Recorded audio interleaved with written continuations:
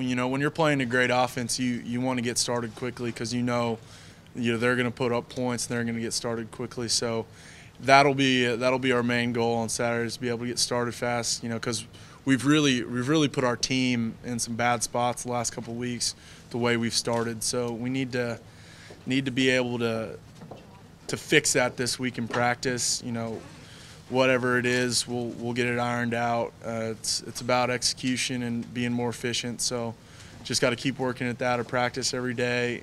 Uh, get ready for Saturday.